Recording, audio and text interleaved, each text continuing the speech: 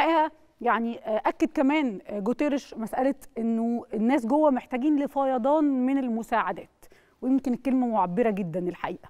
يعني في ظل التعنت الإسرائيلي والموقف الإسرائيلي من دخول المساعدات والاستمرار في تدمير وتجويع هذا الشعب بعد أحداث السابع من أكتوبر هنا نتحدث عن ضرورة دعم وضرورة إنفاذ المساعدات وفيضان من المساعدات للناس في قطاع غزة. وكان في مؤتمر صحفي مشترك في القاهرة أيضا مع وزير الخارجية سامح شكري أشار فيه جوتيرش لتحقيق بعض التقدم في مسألة توصيل المساعدات لكن قال إنه لازم يكون في عمل أكتر من كده علشان نقدر إن إحنا ندخل أكتر مساعدات ممكنة. ولازم كمان ده يكون بخطوات عملية ما يبقاش مجرد تصريحات لمسؤولين وبس كده.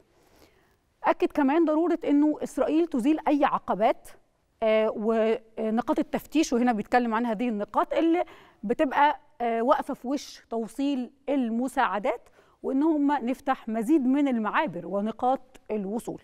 كمان أنطونيو جوتيرش تحدث عن توصيل المساعدات لغزة بالطرق البديلة في إشارة هنا لمسألة الإسقاط الجوي اللي شفناه مصر ودول عديدة تشارك في هذه الجهود وتحدث كمان عن يمكن إنشاء ممر بحري لإنفاذ المساعدات وضرورة إن إحنا ندخل البضائع التجارية بكل الأشكال اللي الناس محتاجاها.